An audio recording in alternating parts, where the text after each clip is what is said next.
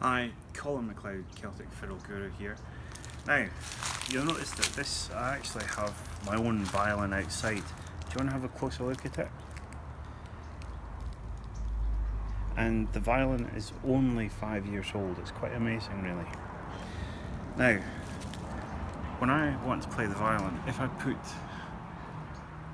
the violin under my neck, I sort of really find that I bring my chin over to hold the neck, hold the violin on my shoulder and it is extremely uncomfortable.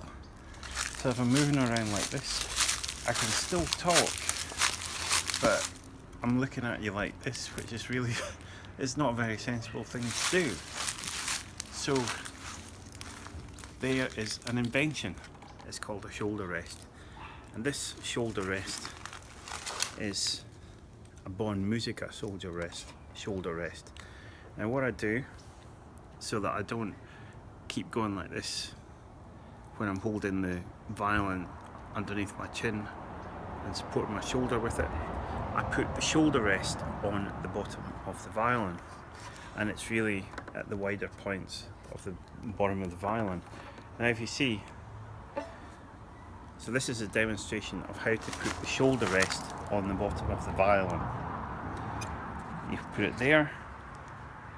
See that? That's on the left hand side. You put this on the right hand side and look at that. Now, what's the difference? So this is me putting the violin underneath my chin. And look, I'm really speaking to you so much more sensibly. That's all for this lesson, folks. Enjoy. Bye.